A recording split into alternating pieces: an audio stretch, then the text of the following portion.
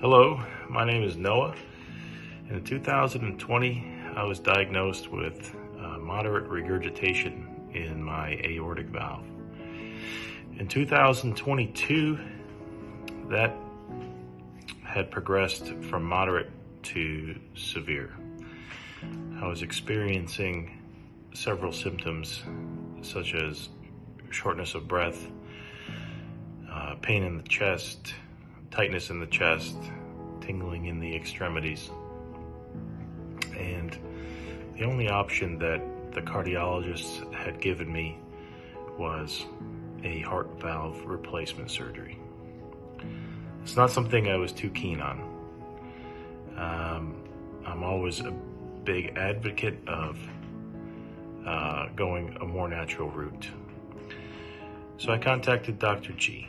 I had met Dr. G several years ago on a business trip, and Dr. G has successfully performed treatments on other members of my family for various ailments in the past. So I consulted him about my condition.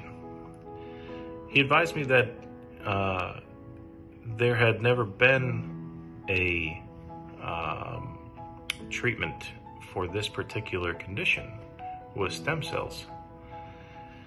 However, he said he was going to do some research and he'll get back to me.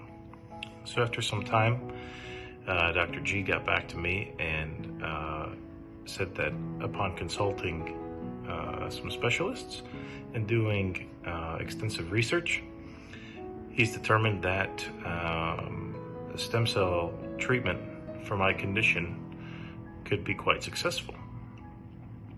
So I said, Where do I sign? Uh, in the winter of 2022, uh, I went for the first treatment. This was going to be a two part treatment. Um, so the first treatment entailed a heavy infusion of stem cells with an IV. Um, Dr. G advised me that uh, after the first treatment,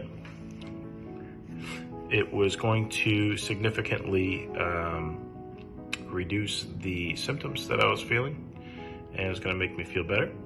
And then uh, after a couple of months, we will go for part two of the treatment, which would be a direct injection into the heart with the stem cells.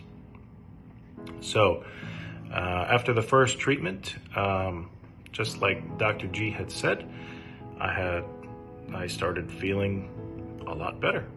Um, the stem cells had reduced the inflammation around my heart and lungs and started strengthening the tissues. And those symptoms that I had been feeling virtually had disappeared. And I had gone from uh, not being able to climb five steps without feeling uh, shortness of breath and chest pain to actually climbing a mountain uh, a month and a half after the treatment. Um, so uh, obviously the the treatment uh, had uh, had done something beneficial for me, and it had been and it, and it, it, uh, um, it seemed to really be working. So it gave me a lot of confidence in going back for uh, part two of the treatment, which was uh, going to be a direct injection into the heart. Um, after several hours of uh, uh, consultations and, and going back and forth and getting all the information from Dr. G, I felt very confident and very safe uh, that this treatment was uh, going to be uh, effective and safe. And um, I went down in the in February of 2023 for part two of the treatment. Um, Dr. G had arranged everything uh, in a nice facility with uh, um, a very professional uh, and uh, well versed uh, and experienced uh, cardiologist um, and cardiac surgeon. And they performed the procedure on me effortlessly. And I was in and out and felt great no issues whatsoever. And um, I continue to be making uh, improvements on a daily basis and feeling better and better uh, as the days go on. And I'm very confident that this this procedure uh, is working, and I'm looking forward to um, seeing uh, the results down the road uh, after uh, after the procedure has had time to take full effect and fully repair all the uh, areas that needed repair inside my body. And I'm very thankful for Dr. G and everything he has done for myself and for my family. And um, uh, I'm very happy to have uh, to met uh, have met him and um, and uh, everything he's done for us.